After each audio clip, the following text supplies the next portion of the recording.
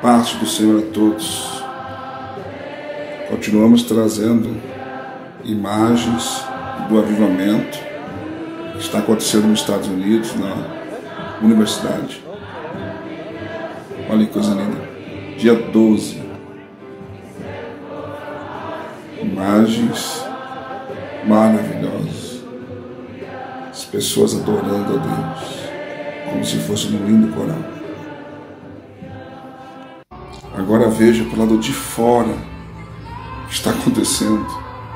Meu Deus, para quem achou que não ia durar, para quem achou que era fogo de palha, 10 mil pessoas, mais de 10 mil pessoas, esperando do lado de fora para entrar.